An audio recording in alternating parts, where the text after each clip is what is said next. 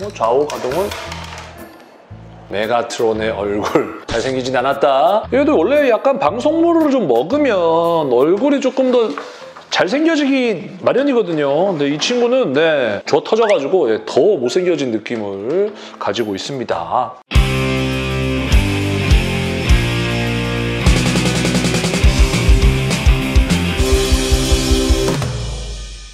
상추들 대단히 반갑습니다. 오늘 어떤 녀석 보여드릴 것인가? 트랜스포머 디셉티콘 네, 메인 뭐 빌런 대장이라고 할 수 있는 메가트론 이종을 한번 가지고 와봤습니다. 트랜스포머 2 패자의 역습에 나왔던 메가트론 그리고 트랜스포머 3 Dark of the Moon에 나왔던 메가트론 발매는 훨씬 전에 됐고요. 이건 비교적 최근에 발매됐다라고 보시면 될 것 같고 3A 시절이에요. 3제로 전에 3A 3제로와 그 애슐리 우드 그 회사 그쵸? 아시죠? 사실 이 3A 초창기 시절의 그 프리미엄 스케일과 지금 나온 3제로 시절의 프리미엄 스케일은 사실 퀄리티 차이가 굉장히 많이 납니다. 그럼에도 불구하고 이 친구는 꽤나 명품으로 인정을 받고 있고 구하기도 좀 힘들고 귀한 매물이라고 보시면 될 것 같고 이 친구는 좀 비교적 최근에 나온 제품입니다. 일단은 DLX 스케일 먼저 한번 보여드릴게요. 자, 비닐도 안 뜯은 새삥이고요.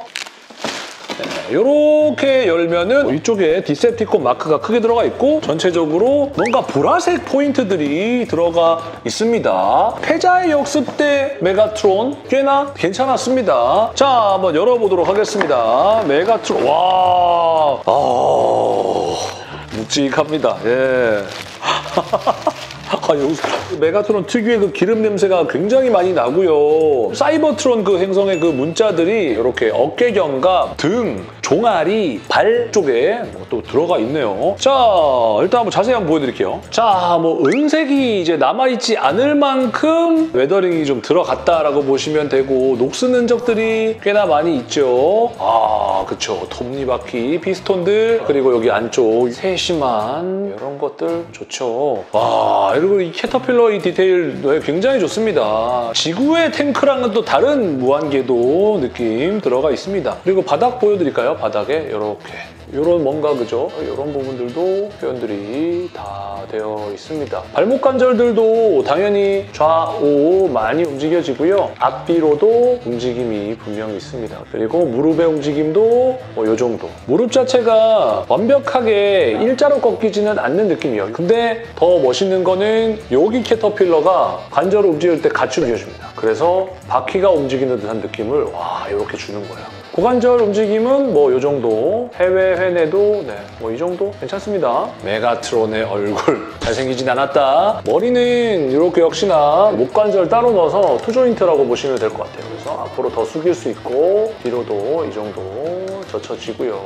뭐 좌우 가동은 자, 뭐 좌우 머리 가동들은 뭐 당연히 많이 되고요. 그리고 보시면 이제 좌우 비대칭인 것들도 메가트론의 좀 특징일 수가 있고 손도 조금씩 달라요. 모기의 다리 같은 느낌, 아주 얄쌍하고 긴 손가락들을 자랑을 합니다. 근데 이게 이제 연질이기는 한데 관절이 손목에만 있어요. 네, 이런 부분들은 다 네, 통짜라는 거. 그것뿐만 아니라 아 뭔가 그죠? 네 외계인스럽습니다. 가동이 되지 않는 친구들 을 이렇게 바꿔 끼울 수 있게 되어 있는 거예요. 그래서 이렇게 굉장히 쉽게 바꿔 끼울 수가 있게 되어 있습니다. 여기도 조금 더 벌려서 아, 이런 경관절들 이렇게 많이 움직여져서 움직이고자 하는 방향들을 다 움직여줄 수 있다고 생각을 해주시면 돼요. 관절들이 움직여줄 때 어깨 관절 요 같이 움직여지는 거 이런 것들도 참 재미있는 요소죠. 등김의 겨드랑이 한번 볼게요. 옆구리 쪽 디테일들도 당연히 좋다. 옆으로 뺐을 때도 이 라인까지도 설계가 되어 있어서 최대한 스트레칭을 해도 빈 공간이 보이지 않는다. 뭐 관절의 이런 가슴 움직임 이 정도, 허리 움직임도 같이 돌아가죠. 와 앞으로 굉장히 많이 구부러집니다. 네. 그리고 여기 하, 질입니다. 뒤에 이런 엔진 이런 부분들 사이드 옆구리랑 허벅지 바깥쪽에 있는 엔진 디테일하게 신경 써준 흔적들이 있습니다. 이거 보세요. 오, 이런 거 되잖아요. 그루트 같네, 그루트 같아, 이런 걸 보면. 그리고 와 이것도 엄청나게 거대한 laser gun이라고 해야 될까요? cannon 이렇게 들어가 있습니다. 와 이거 라이트는 안 나오겠네요. 이게 이제 프리미엄 스케일로 나왔다면은 네 요거도 아마 라이트가 나왔을 텐데 아, 요거는 아마 전환까지 빼야 될 것 같은데요. 와쏘 느낌이잖아요. 손이 야 진짜 얼굴은 진짜 못생겼어. 2 버전의 메가트론이 이 장난감으로도 꽤나 인기가 좀 많습니다. 프라임 원사의 statue로도 사실 이 친구가 구하기도 좀 힘들고 저도 사실 유일하게 구하지 못하고 있는 그 프라임 원 라인이에요. 그리고 기본적으로 또 들어가 있는 Threezero 특유의 베이스가 있네요.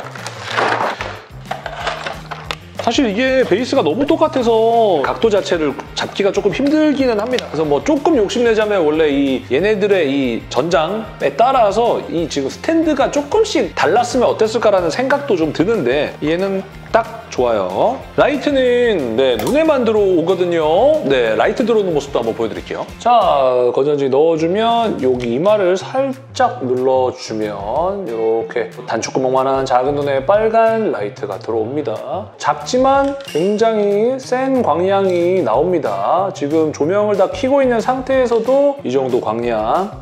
아니 진짜 뭔가 이렇게 weathering의 극한, 복잡한 설계의 또 극치 보여주는 메가트론 DLX 스케일이고요. 이따가 그 제트 파워 옵티머스 프라임이랑 한번 비교를 해보면 좋을 것 같네요. 비교적, 상대적으로 깔끔해 보이는 오토봇들이랑 이렇게 비교해봐도 꽤나 멋있는 녀석이라고 생각이 됩니다. 자 다음은 네, Dark of the Moon 버전의 메가트론 보여드리도록 하겠습니다. 프리미엄 스케일 여러분들 기대하셔도 좋습니다. 뭐 박스는 굉장히 단순합니다. 여기 메가트론의 얼굴, 프로필 옆모습으로 나와 있고 여기도 역시나 보라색 느낌을 주고 있습니다. 그리고 이거 예전에 제가 보여드렸었던 기억이 있는데 이 메가트론의 능력치가 이렇게 나와 있습니다.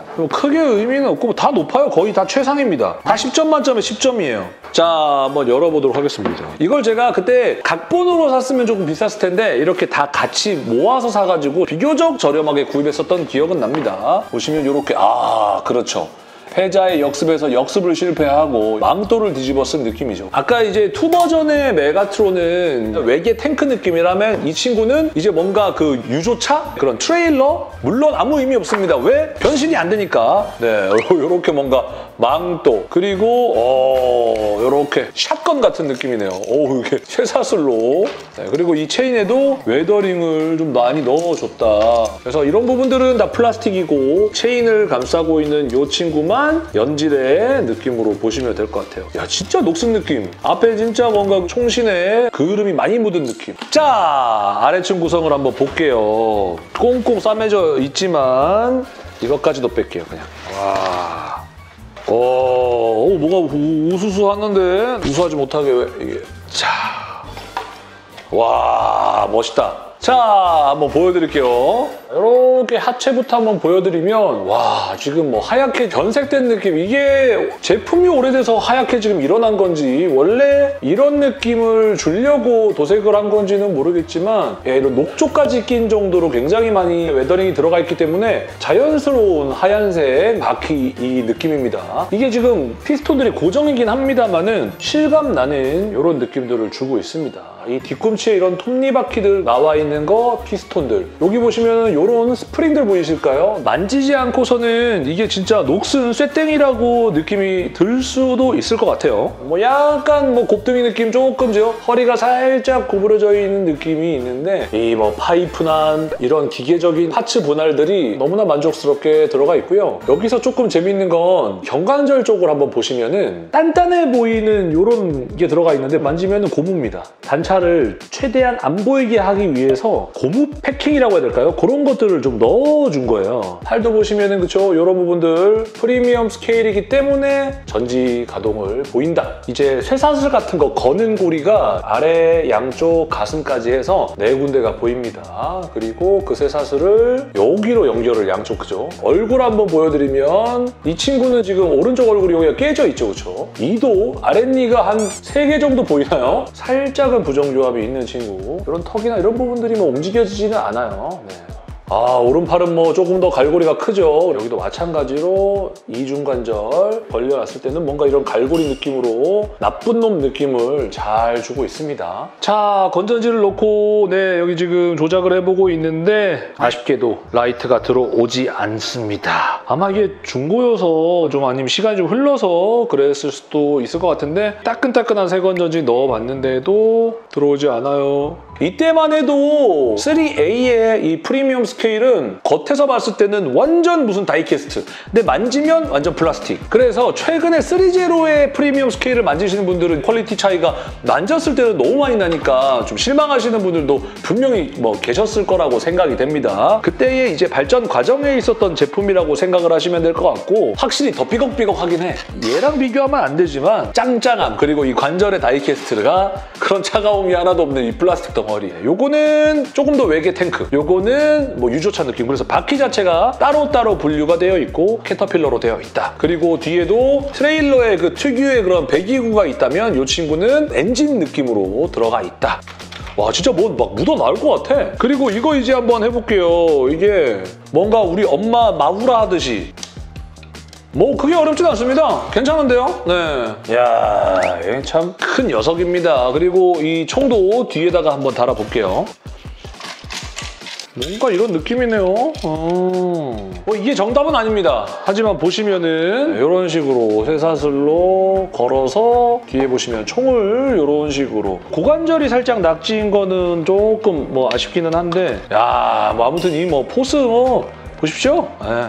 그리고 여기 위에 얘도 원래 약간 방송물을 좀 먹으면 얼굴이 조금 더 잘생겨지기 마련이거든요. 근데 이 친구는 네, 줘 터져가지고 예, 더 못생겨진 느낌을 가지고 있습니다. 자, 이 Threezero 기술의 이제 가장 최신 거를 한번 보여드리면은 비포 애프터가 더 확실하실 것 같아가지고 한번 꺼내봤습니다. 보시면 이런 디테일들뿐만 아니라 전체적으로 그쵸 이런 움직여지는 gimmick들이 메가트론이랑 뭐 비교하면 이제 상대가 안 될 만큼의 quality가 나와준다고 생각을 합니다. 관절의 움직임들 발전된 부분이라고 뭐 보실 수가 있을 것 같아요. 엉치의 이런 관절들도 네, 뒷발차기가 될 정도로 관절의 움직임이 다 가능한 거고요. 네, 이런 녹색 전선줄 포인트, 그다음에 이런 노란색 이런 뭐 배터리 같은 포인트들, 이런 피스톤 포인트들 색깔들을 또 이렇게 넣어줌으로써 보고만 있어도 배부른 그런 퀄리티를 자랑을 합니다. 보시죠, 이런 부분들. 와... 이런 전반적인 이런 디테일들 허리나 이런 춤도 다 예쁘고 이 파츠들은 교환이 가능해서 다른 버전으로 이제 바꿀 수가 있게 네,